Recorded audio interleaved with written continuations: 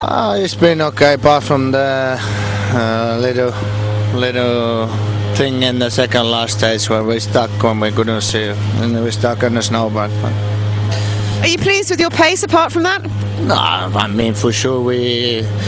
It would be nice to be faster, but uh, I mean it's hard to compare to the guys that has done it for many years. So I mean some stages we can go fine, and uh, the afternoon the car has been better, but. And how are you working with pace notes?